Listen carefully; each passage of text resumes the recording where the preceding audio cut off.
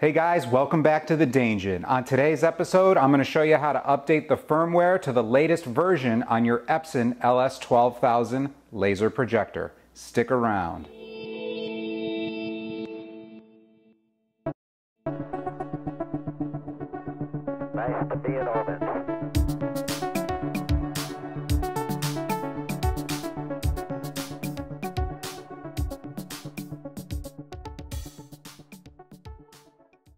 All right, everyone, like I mentioned before, on today's episode, we're going to update that firmware on your Epson LS12000.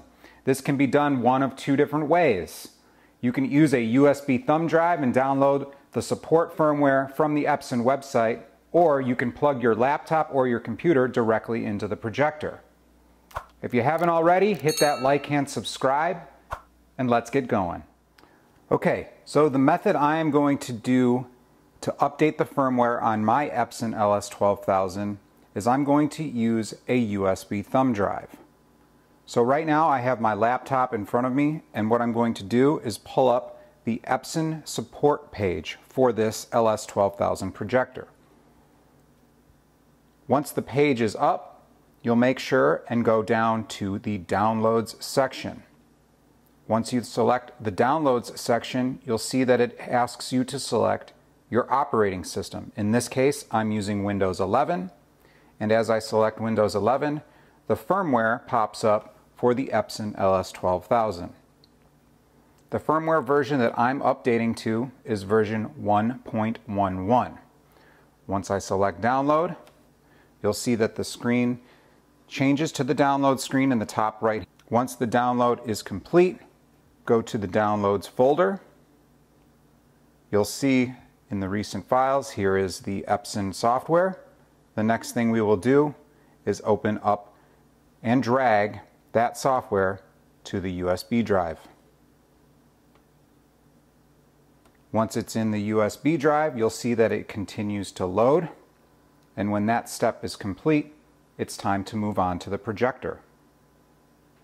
Now that the software is showing on my laptop as installed on the USB thumb drive, I'm going to safely remove that thumb drive from the computer. Go down to the corner, eject mass storage device, and now it's telling me it's safe to remove the hardware.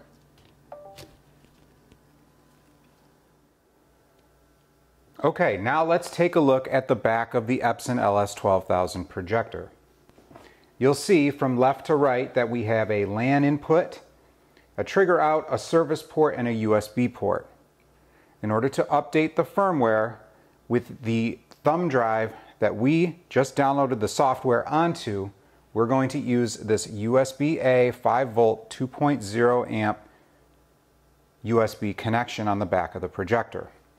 The other way you can update it if you don't have a thumb drive is you can plug a USB mini cable from your laptop into the service port of this projector and it will do essentially the same thing.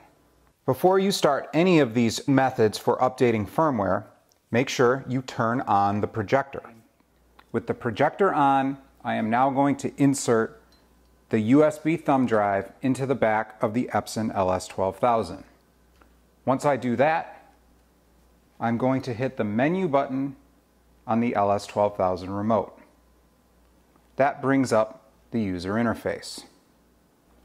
Once the menu is up on the screen, go down to the bottom where it says initial slash all settings.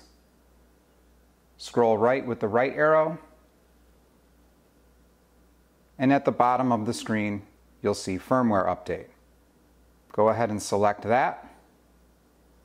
Once you select that, we are now going to follow the instructions that says connect the USB storage containing the firmware file. It will take a few minutes to update the firmware. When the firmware update is complete, the projector enters a standby status.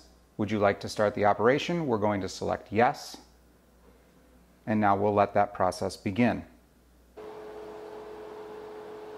As you can hear, the projector fan is running extremely loud during this software update.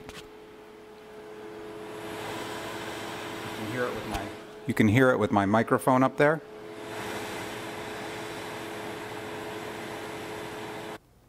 Okay everyone, now that the Epson has completed installing the firmware via the USB thumb drive, we're going to check to make sure that the software is up to date by checking out the version information in the user interface. So what we'll do is we'll go to Menu, we'll scroll down to Information, and about the fifth selection from the bottom, which I'll zoom into here, right there where it says Version Main 2301156 J5WWV111.